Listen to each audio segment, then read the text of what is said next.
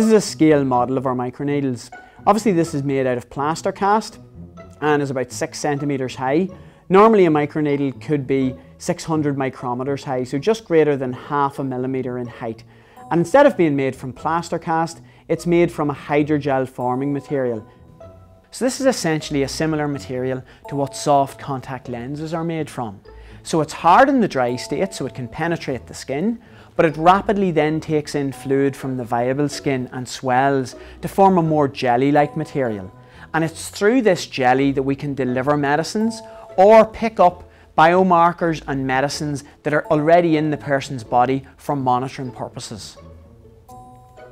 And if we insert these into a person's skin, it feels like a cat's tongue or a little piece of Velcro or an emery board. There's no pain and no bleeding.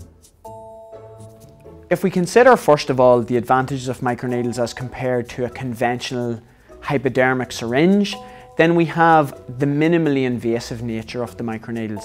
So we're no longer now um, having a, a device that will cause pain and potentially bleeding and could actually be stuck into another person either on purpose or by accident. So we don't have the issue of disposal um, that you would have with a conventional needle and syringe. If we think of microneedles as an alternative to conventional oral administration of medicines from tablets or capsules, we now have the opportunity to improve the bioavailability of macromolecules like peptides and proteins, but also to control the administration of a whole range of drugs over several days. And this could be particularly important in elderly patients, for example, who are on numerous medicines and often struggle to remember to take their tablets. It's vitally important that we're able to visualize microneedles because clearly our eye cannot see them. They're on such a small scale. In this first image, we see a light micrograph of our microneedles that we have gold coated prior to scanning electron microscopy imaging.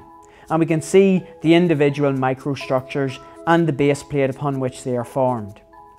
Our next image shows a scanning electron micrograph of a single microneedle penetrating through the stratum corneum, which is the outermost barrier layer of our skin. And once our microneedles are in skin, they will rapidly take up skin interstitial fluid to form these discrete hydrogel bulbs, and that's what we see in our next image. So even though our microneedles become soft when inserted into skin through uptake of fluid, what we can see here is a microneedle that has been removed from skin. And this indicates that we remove the microneedles completely intact and we do not deposit any polymeric material behind in the skin. And this is what our final two images show. So these are the microneedles inserted into the skin of my former PhD student Martin Garland.